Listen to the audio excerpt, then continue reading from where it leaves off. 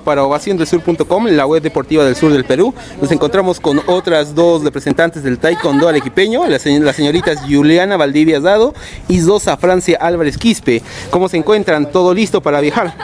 Muy bien, todos felices. muy preparadas para sacar. ¿Cómo han llevado los entrenamientos esta última semana? ¿Desde cuándo ya están preparándose para los Judejut? Más de un mes y todo fuerte para seguir. ¿Y desde, desde cuándo vienen eh, practicando este maravilloso deporte del taekwondo? Ya desde más chiquitas. ya mucho tiempo. Mucho tiempo. ¿Y usted? Hace cuatro años. Ya a todos nuestros papás y a todos los entrenadores que nos han apoyado. ¿En la universidad? ¿La universidad? Sí, se la universidad.